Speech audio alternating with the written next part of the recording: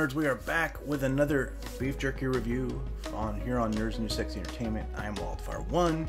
We are continuing this.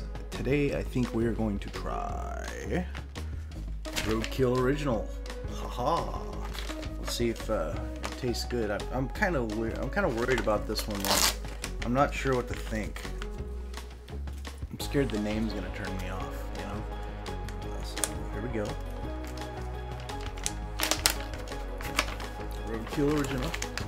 Let's give it a try. Oh, this one this one feels a little um more firm than the other jerky.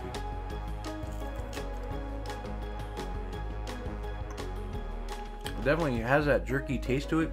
It doesn't have much of a, a flavor, other than maybe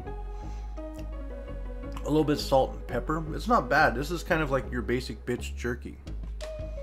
Like, I'd still say this is this is this is maybe a five or six. Like, it's not my favorite so far, but it's not bad either. Like, definitely, if you're just in the mood for like unflavored jerky that could be roadkill, definitely eat it.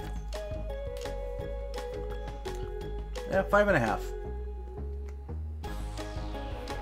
Alright guys, that's the end of this week's uh, Alien Fresh Jerky review.